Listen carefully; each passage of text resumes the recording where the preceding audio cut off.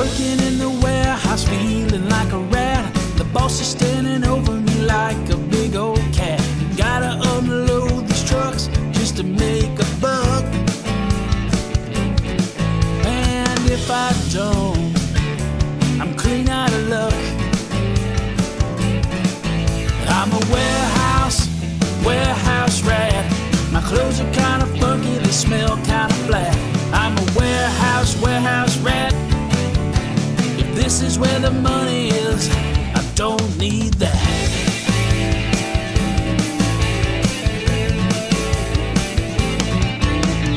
Moving pallets with a hand jack, picking them up, putting them on a rack, knocking over boxes, feeling like a jerk.